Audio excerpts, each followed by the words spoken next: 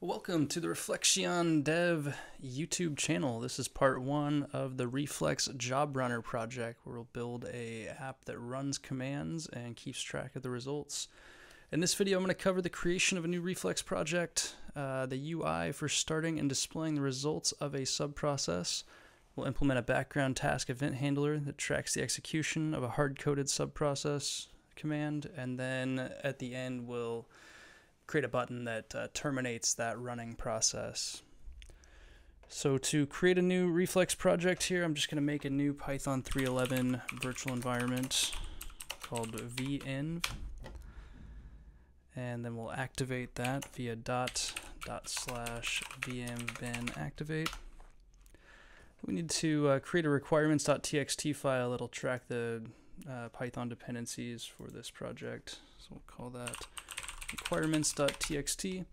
And in here, normally you would just have uh, Reflex as your requirement, but since this video is relying on pre-release features, we're actually going to install from Git for this video. So that's going to be uh, Git plus HTTPS, and then we'll just provide the URL to my development branch.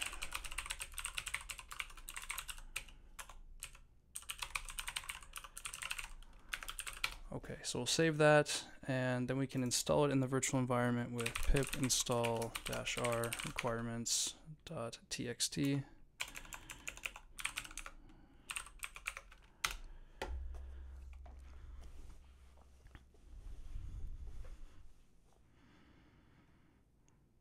Okay, so that installed everything. Now we'll go into the Reflex job runner directory and run reflex init. This creates a new template project in the directory. And it'll give us some uh, starting code to work with. So we can see this populated over here. We can expand Reflex Job Runner and open the template app. looks like that. And we can do Reflex Run to actually start running it. Install the packages and then the app will be running on my local host here, port 3000. If I open up the browser and go to localhost 3000, I should see the template app. Okay, this doesn't do much here, but we're about to change that. So going back to the code, I'm just going to delete some of this boilerplate here that we don't need.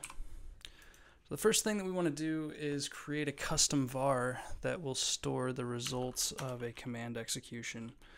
So that'll be uh, command result and it's going to inherit from rx.base. Any class that extends rx.base is serializable and can be interacted in the front end and used in UI elements. So Copilot helpfully recommends this completion and I'll take it for now. We're also going to add a PID field that's an int. And then we want to give some default values here. So standard out will default to empty string, standard error as well.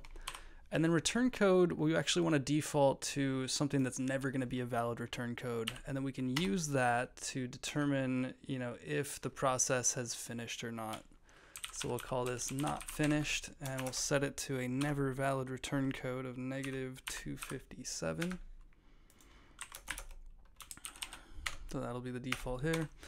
And then the default PID is going to be uh, negative 1. So if the we look at the structure and the PID is negative 1, we'll know that the process hasn't actually started yet because that's never going to be a valid PID. Okay, then uh, in the app state, we'll define a couple of variables. So the, well, one for now, and that's going to be the result itself. So that'll store the command results. And the default is just going to be uh, what we see up here. And then we also need an event handler. So we'll call that run command. And for now, it's not going to do anything, but we'll reference that in the UI code that we're about to create. So before I get into the UI, I want to define some conditional helpers to kind of make the code more readable. So there's a couple of conditions that we're going to want to render on. And the first one is process has exited. So I said we were going to use that return code not finished there. So we'll say process has exited. And what that condition is, is state.results.return code not equal not finished. So we know that if this field gets set to a valid return code, then the process has exited. So this is just a little uh, easier to read than this double negative over here. We also want uh, process not started. So we know that if the PID is less than zero, then the process has not yet started. So we'll say less than zero. So we'll use those two conditions uh, to render the UI in a helpful way. Uh, so here's the index function. This is actually the page uh, that will render on the front end, and we'll get rid of this boilerplate here and kind of start from scratch. So we want uh, rx.vstack, so all our elements are aligned vertically on the page. And the first thing we want at the very top is a button that will run the process or a loading spinner if the process is already running. So to get that kind of conditional rendering, we'll use rx.cond. And the condition is going to be three parts. So the first one, we want to make sure the state uh, is hydrated. So that means the front end has connected to the back end and the back end has sent it the latest copy of the state. So we want to make sure before we show the run button that the back end is actually connected. So that's the first part of the condition. And then we want to make sure that the uh, process has exited. So if we run a process and it exits, then we want to show the run button again so we can run the next one. Or the process has not even started. So we've just loaded the page, no process is running yet. We want to show the run button so the user can, uh, can start the process. So uh, we'll add a button here and it'll say run. And when you click on it, uh, we'll fire off that run command. Copilot being very helpful there, knows what we wanted to type anyway. So if the front end's connected to the back end and the process has exited or not started, then we're going to show this run button. Otherwise, uh, we're just going to show a spinner. So the spinner is a nice UI element to indicate that, that something's loading.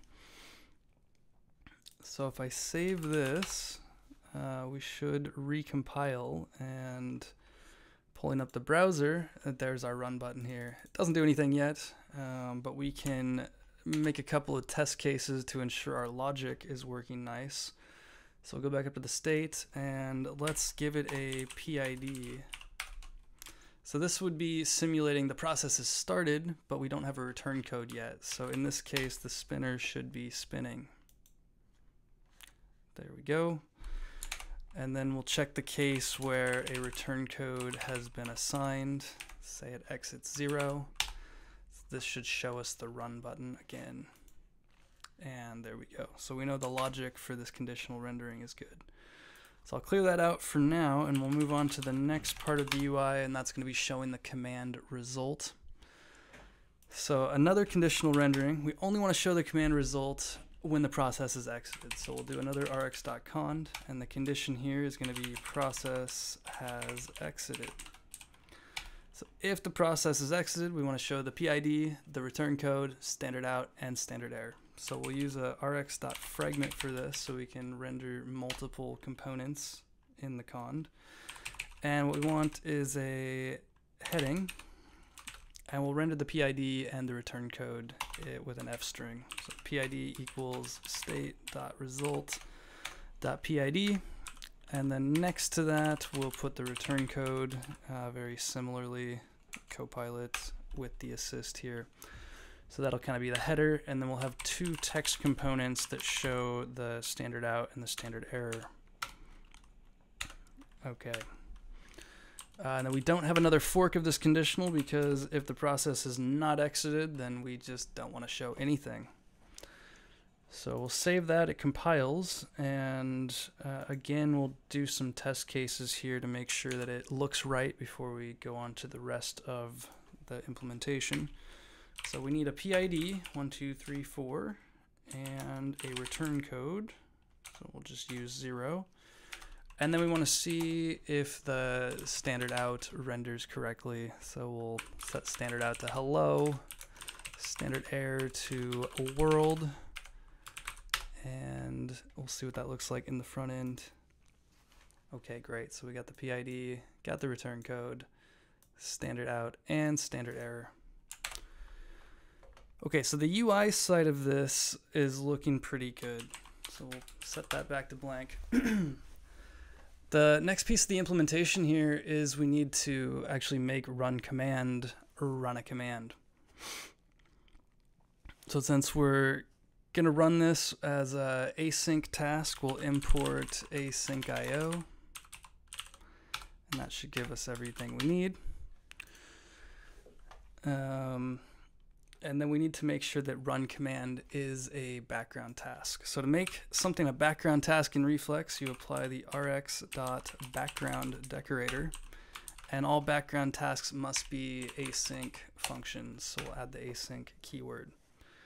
So background task is a special kind of event handler that does not block other event handlers from running, but it has the caveat that it can't directly modify the state. So we'll see uh, some special async with self blocks that give us exclusive access to the states that we can modify it. And then outside those blocks, we do not have exclusive access, but we can uh, wait for long running processes without blocking the UI. Okay, so um, we're going to run a hard coded command for this example, and we'll define that right here. So it's going to be an array we want sh, yeah, okay. Copilot again for the assist. That's a, exactly what we want, just a little snippet here. We're gonna print hello world to standard out, sleep for a second, and then print goodbye world. I'm gonna modify this slightly because I want the goodbye world to go to standard error, just so we get something over there as well.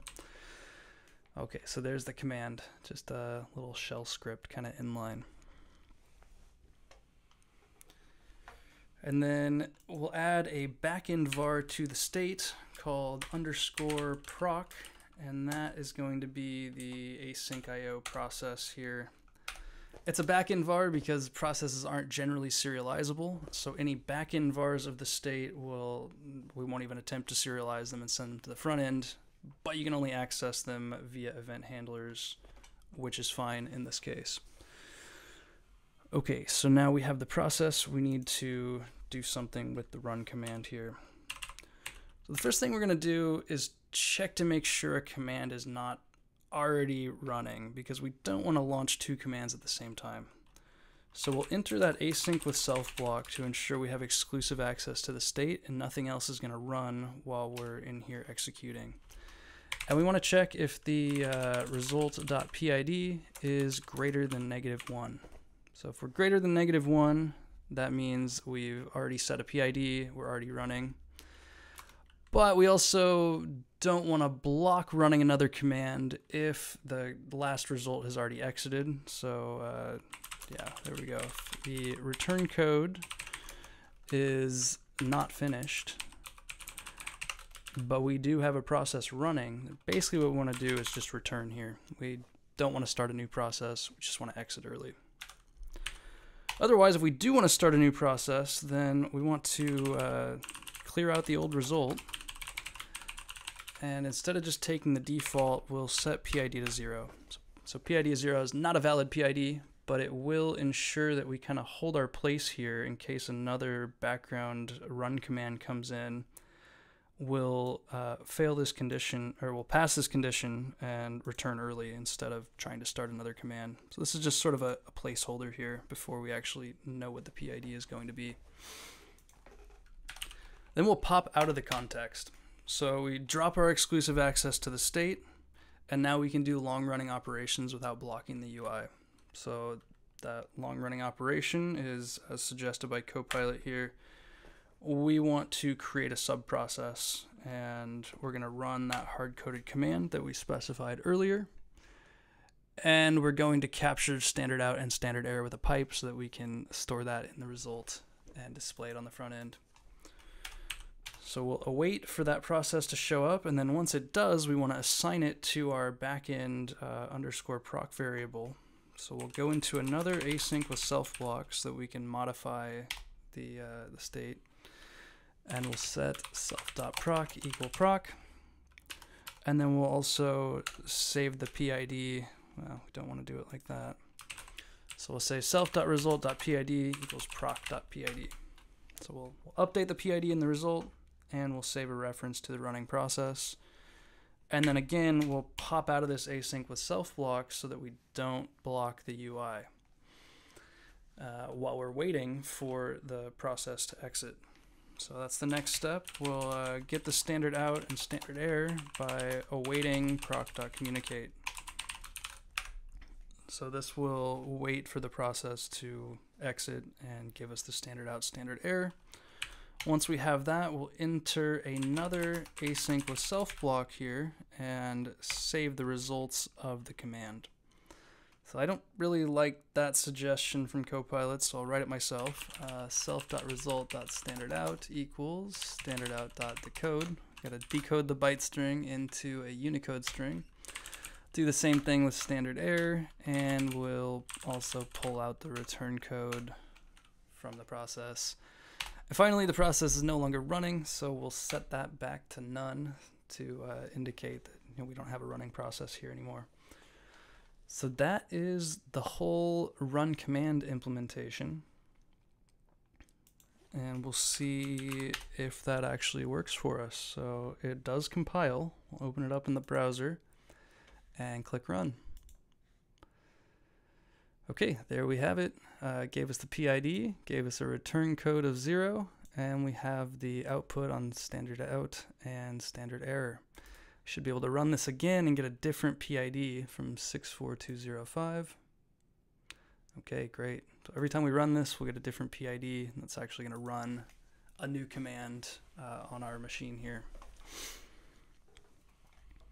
All right, the final step here in this video is going to be adding a terminate button so that we can exit the task early. So to do that, we'll create another event handler.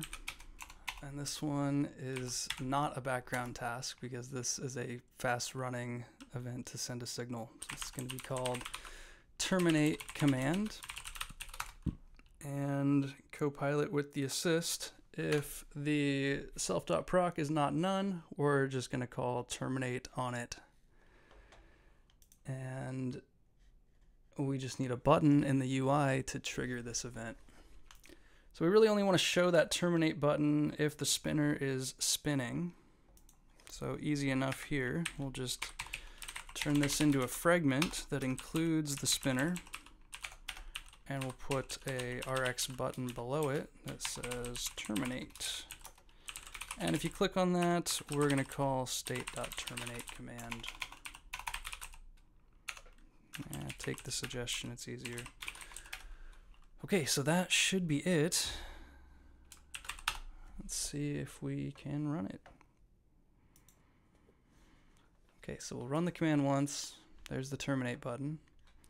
So then we'll run the command and click terminate and see here that we got a return code of negative 15 and notice no goodbye world. We actually killed the process while it was sleeping, didn't get a chance to echo goodbye world.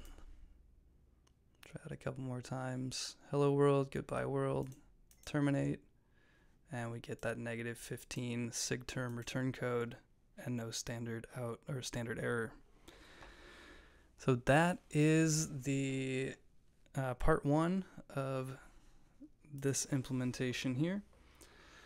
Look out for part two, where we will extract some of these components into separate functions, uh, apply some CSS styling to make this look a little bit nicer, and then implement a dropdown to select from multiple commands. Subsequent videos will implement uh, multiple jobs, job history tables, uh, user authentication, database, and uh, statistics for jobs. So keep an eye out for those. Thanks for watching.